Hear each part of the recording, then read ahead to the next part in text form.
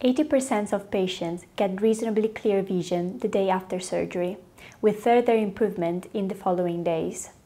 Some eyes take longer to heal, especially when the cataracts are quite dense to begin with, but even in these cases, there is a significant improvement in the first week after surgery.